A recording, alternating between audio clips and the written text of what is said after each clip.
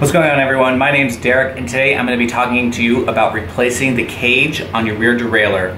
Why would you want to replace the cage on your rear derailleur? Well, there's two reasons I can think of. One, your derailleur cage might have been bent or twisted in a crash.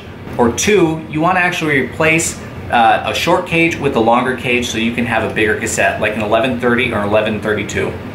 In my case, I had two derailleurs go bad in about a two week period. This one's off my time trial bike and it was just um, a small little uh, tweak inside the cage um, that was causing my derailleur to have some issues.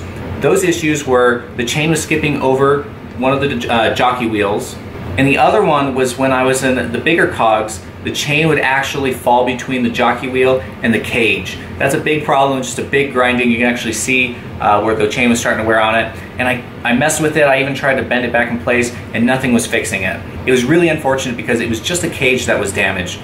In the case of this Di2 derailleur though, I was involved in a crash. It took a really hard knock. I noticed that there were some problems with some misshifts um, or really loud noises coming off just because I couldn't get it tuned perfectly.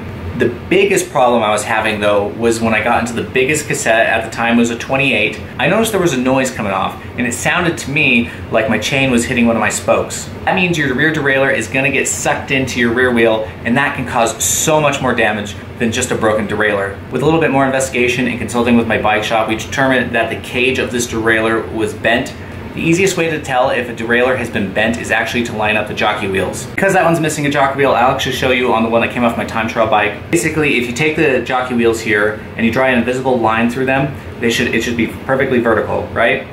On this one, you can actually tell that this jockey wheel is a little bit too far to the left. And in the case of this uh, one that came off my road bike, it was dramatically off to the left. And so yes, the cage was bent and you can't really bend them back into place or it's not recommended.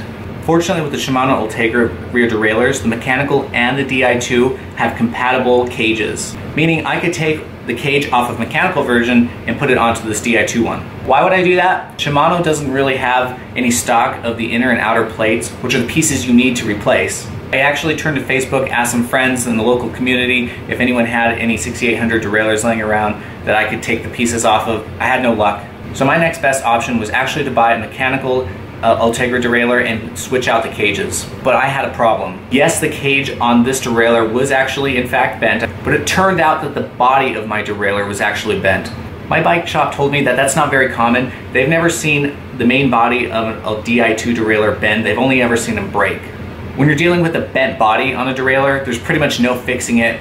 There's no way to get the extra parts from Shimano, so you just gotta throw it away. So I just bought a long cage version of this Di2 derailleur. So I'm going to walk you through the steps of how to replace the cage on your derailleur. First step, of course, is to remove the derailleur from your bike. With this Shimano derailleur, you need a 5mm Allen key to remove it. It'll be obvious where it attaches to the bike. It's just this hole right here. Turn left to loosen and right to tighten. With mechanical derailleurs, like this one, it's always going to be in this compressed position. With Di2 versions, if you have that, you can actually just give it a little quick little pull apart, comes apart and goes back together really easily. Just don't pinch your fingers. It's easier when it's expanded like this. So the first thing you're gonna do is remove the jockey wheels in the outer plate. As you can see, it's this derailleur has already had one of the jockey wheels taken off, so I'll show you with the other one. We're actually gonna take a three millimeter Allen key, insert it into the bolt here, give it a quick twist, comes right off. And then also with the other one, quick little loosen, bolt comes out, and the cage is free. Now we have this inner plate, but we're not gonna unscrew it yet. We actually wanna go to this little pin that screws in. Basically, there's a spring in this derailleur that, bring, that provides the tension to your chain. You, you can see the movement here. We're just gonna kind of pry that open. It's a little difficult, but I find this is kind of the easiest way to hold it. You can take a screwdriver, it's just a normal Phillips. Give it a quick couple left turns. Out comes the, actually here's the pin right here. And don't just let go because it will fly in. You just want to let it softly. There you go. So you can see that springs in there on both ways, but that catch pin is gone. We're gonna take that five millimeter Allen key that we use to take the derailleur off the bike, insert it here, and just turn left. And as you pull apart, you don't have to worry about anything shooting out, at least in these Shimano ones. It's just a spring and this inner plate with a little axle on it. So now we're just left with the main body of the derailleur. As I mentioned before, this one is actually damaged beyond repair, and so I had to throw this away. But if your derailleur's still good, don't worry about that. We're just replacing the cage. Now you're gonna take the new cage, whether it's just a longer version or one that's not damaged, and we're gonna insert it back in. You'll take note that there's this little uh, little arm sticking off the the spring. Basically, inside here you can't see, but it'll be really easy to see in person. There is a little hole. You're gonna insert that little arm into that hole. That just gives it something to grab against. Once that's in, we take that five millimeter Allen key, turn it right, you know, use some caution, make sure you're not cross setting, but I find it's pretty hard to do that here. And give it a nice little tighten. Nothing too crazy, you don't wanna strip anything. Don't forget about this catch pin. So we're gonna put the derailleur like it was hanging on the bike. And you see that the cage is over here. We're gonna twist that back. That's the where the tension comes from. We're gonna take that pin and insert it right back into the hole right there. You can kind of see it right here.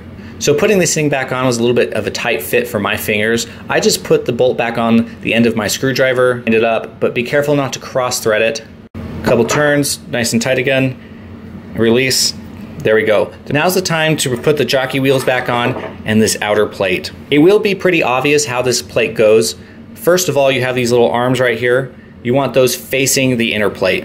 Also, the bolt holes for the jockey wheels won't line up if you're doing it wrong. So I'm gonna go ahead and take one of the bolts for the jockey wheels and I'll just start here.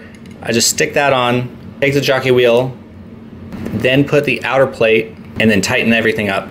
Be careful not to over tighten that bolt, otherwise the jockey wheel won't spin, but don't leave it so loose that your jockey wheel is wobbling inside the cage. Again, I don't have the jockey wheel on this, but we'll just put the bolt on anyway give it a quick tighten, and that's it everyone. You just replaced the cage on your rear derailleur. Maybe you put on a longer one, or maybe you just replaced a damaged cage. Either way, this is ready to go back on the bike.